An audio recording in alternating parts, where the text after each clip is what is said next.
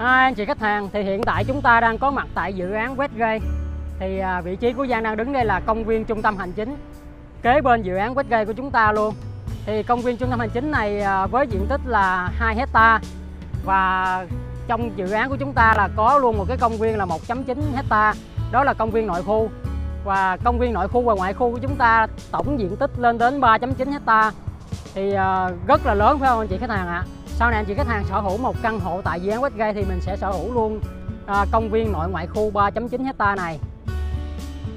Và đây là cái thời điểm tốt nhất để anh chị khách hàng đầu tư cho mình một căn hộ tại dự án Westgate. Tại vì sao? Tại vì tháng 10 2021 này chủ đầu tư An Gia sẽ mở ra một cái giỏ hàng à, tại dự án à, Westgate với cái tháp thêm hay còn gọi là tháp C.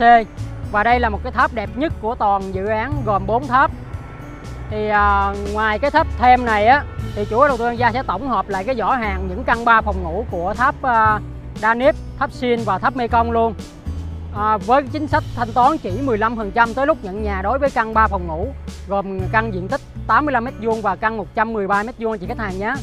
Bên cạnh đó sau khi mà mở bán những cái căn của tháp thêm và những căn còn lại thì chủ đầu tư An Gia sẽ tiếp tục mở thêm cho mình giỏ hàng những căn shop house tại dự án Westgate này luôn và anh chị khách hàng nào muốn đầu tư một căn shop house tại đây, hoặc là những căn 3 phòng ngủ với chính sách thanh toán 15% thì vui lòng liên hệ với Giang qua số điện thoại 091 424 5885 và cái điều đặc biệt mà Giang muốn nói đến với anh chị khách hàng đấy là tại tháp thêm này, ngay ngay à, tầng 2 sẽ có một cái à, sân tennis cực kỳ là đẹp luôn.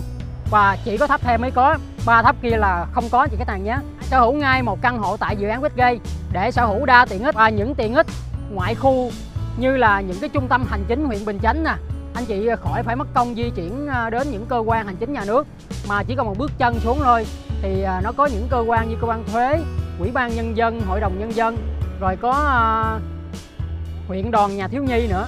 Rồi bên cạnh đó thì có quân đội rồi phòng cháy chữa cháy công an ở đây rất là nhiều luôn. Nên anh chị hoàn toàn đảm bảo về cái cái an ninh của cư dân của chúng ta rồi, bây giờ sau đây là những cái hình ảnh về à, tiến độ xây dựng dự án Westgate. Giang sẽ dùng live cam cho anh chị xem qua, anh chị khách hàng nhé. Mời anh chị khách hàng cùng à, mình xem qua.